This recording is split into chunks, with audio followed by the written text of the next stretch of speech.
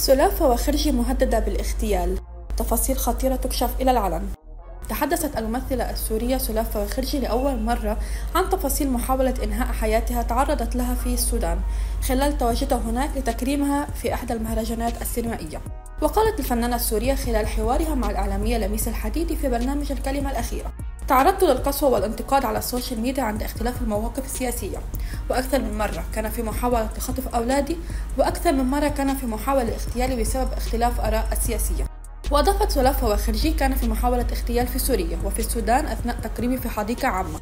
ضمن مهرجان سينمائي وفي آخر لحظة قبل صعودي للتكريم لاحظت حركة غير طبيعية وزيارة عدد رجال الأمن. وقبل صعودي للمسرح لتكريمي عرفت بوجود محاولة لقتلي بواسطة مجموعة من الشباب.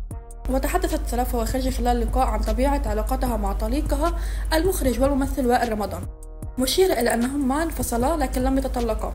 وقالت في هذا السياق ما أعلنا عنه السنة الماضية انفصال وليس طلاق. ونحن لم نتطلق. إحنا منفصلين لكن طوال الوقت سوا. لأن في عندنا عائلة وحمزة وعلي. وإحنا أصدقاء.